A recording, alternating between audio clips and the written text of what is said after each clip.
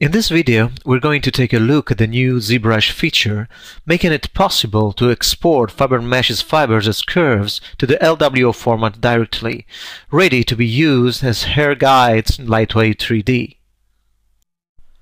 To demonstrate this, we will use the FiberMesh Grooming Practice project.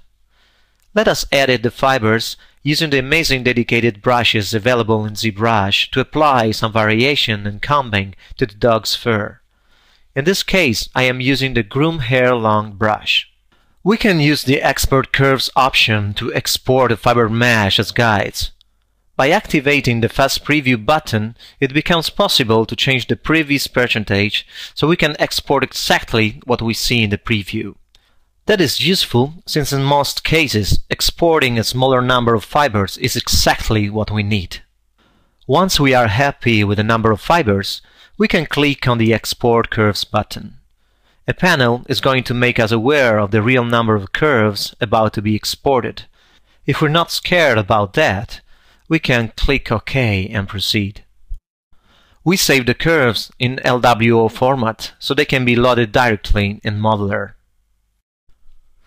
Before we can use the fiber mesh fibers to generate a FiberFX render, we need to perform a couple of steps in Modeler.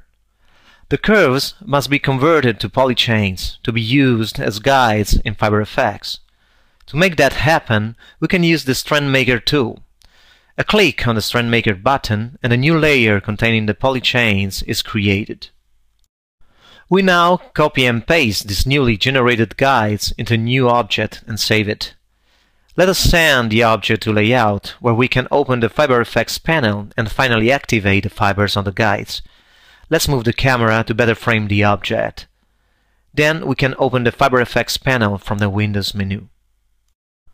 A double click on the object name will activate Fiber Effects on it. Since we want to see the fibers in the OpenGL preview, we need to activate the Draw option. As we can see from the preview, the fibers are not following the guides exactly. That is because of the gravity and random length attributes, but should be set to zero if we want the fibers to precisely follow the guides. Let's launch a render so we can see how the fibers look like. If we want more fibers, we can double the fiber quantity per guide. By switching the two images, we can see how in the second render the fibers look more dense. We can preview the fibers in VPR activating the volume option.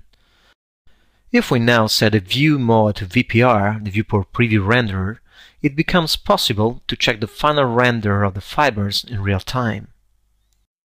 We can also change the direction of the light or of any other attribute of the scene and see the final result updated in real time. With the new Lightwave 11 GoZ implementation, and now the new ZBrush Fiber Mesh Curves direct export in LWO format, artists really have an easy way to make these amazing tools work together.